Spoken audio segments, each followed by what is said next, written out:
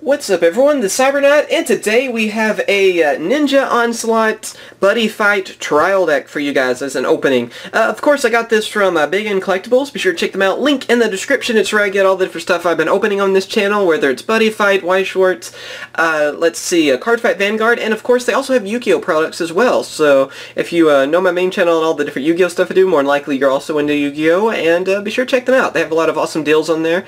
And let's go ahead and open this.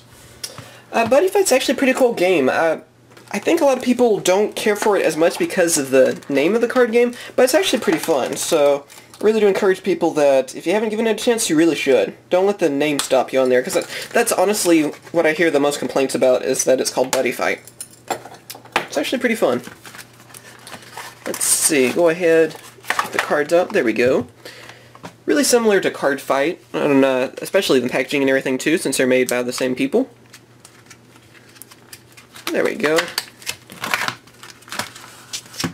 Have the cards. We'll get to those here in a second. Let's see what else that we have with this. All the different stuff you'll get. Trial Store is really good too if you want to get into the game because you get everything you need. You have, uh, for your life points, like a counter to kind of keep track of everything. I believe, yeah, that's how you use it. Like that, you know, you keep track of all that kind of stuff. So I like how they add that little life counter. Let's see, I believe here is the playmat, so I'll show you guys this. Uh, Unfortunately, the playmats pretty much look the same. As always, I kind of wish they had a different little design to them. Uh, but yeah, there's your basic playmat, of course, and then on the other side, it has, uh, it talks about the other trial deck that's also out, and uh, kind of talks about the different strategies, I believe, and stuff too, and, you know, a little bit of an advertisement kind of on the back of it. Pretty nice on that. And then we have, of course, a uh, rule book and everything. It's uh, oh yeah, it's backwards on there. And uh, it also has like a chapter from the manga. I guess I won't flip through that. I don't you know, I'm afraid I'm going to kind of uh, spoil things for people. Always wonder on that, because I guess that is a newer one, so that could spoil something, so... Be sure to buy one, you can check it out for yourself. Tsukikage uh, Blade, Ma Blade Master Mode. Excuse me, that was kind of hard to say. Uh, looks pretty awesome. I like the way these, like, uh, the ninjas, or they, I guess, I don't know, he looks more like a samurai, I guess, really. Uh, still looks freaking awesome. And then you have a Noble Ninja uh, Momo Chatimba? Chatimba? Looks cool. I like the holographics too that they use on this. Then of course uh, we have uh, Secret Sword Lethal Formation. That's another one of the hollows from this.